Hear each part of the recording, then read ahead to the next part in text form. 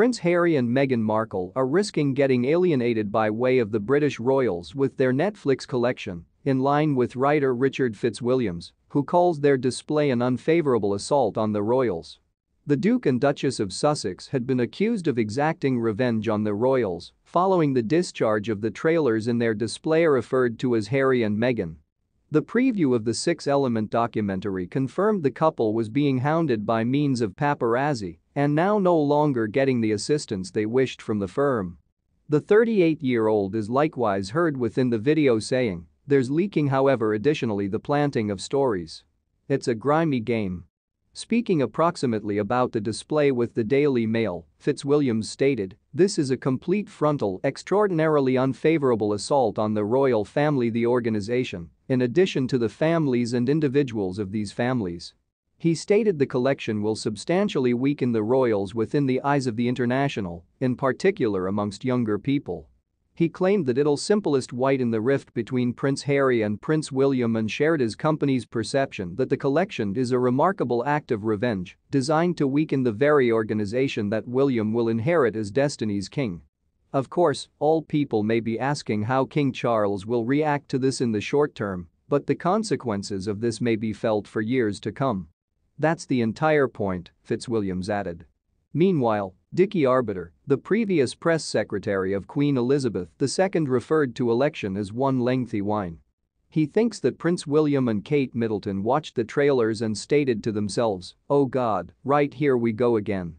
Netflix has referred to the docuseries as a Netflix global event and said that it'll display a never-before-seen look at Prince Harry and Meghan Markle.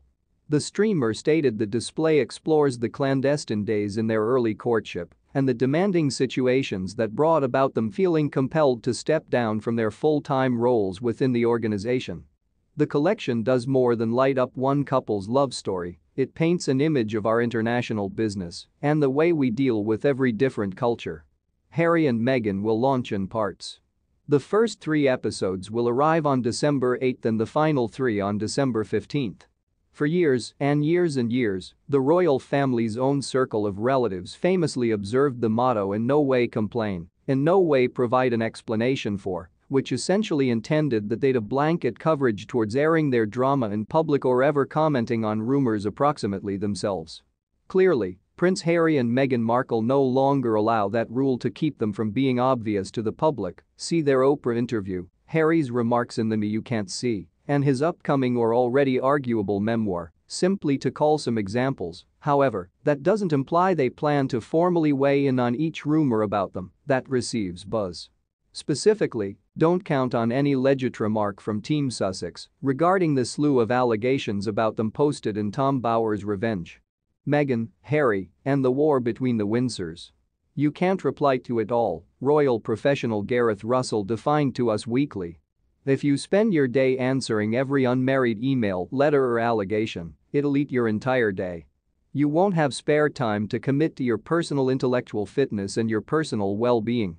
Revenge covered a protracted listing of clean allegations approximately Harry and Meghan and their royal exit which includes claims that Meghan became disillusioned approximately her 2017 Vanity Fair cover and rumors that the Queen and Prince Charles have been annoyed approximately her estrangement from her father, Thomas Markle amongst others.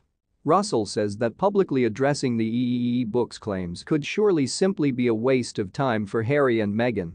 When you're as well known as the Duke and Duchess of Sussex, there's going to be lots of speculation, he defined. It doesn't continually correct everyone's lifestyle in public to continually be answering and rebutting the one's claims. Still, Russell says Harry and Meghan's willingness to be candid about their lives and struggles which include struggles with different individuals of the royal family goes to be a large part of their legacy. I suppose Harry and Meghan will possibly be remembered because the folks who bury them and complain never in any way provide an explanation for their mincet for themselves or for future generations of the royals, he added. And that, maybe, isn't any terrible thing. Thank you for watching till the end, please share with us your thoughts in the comments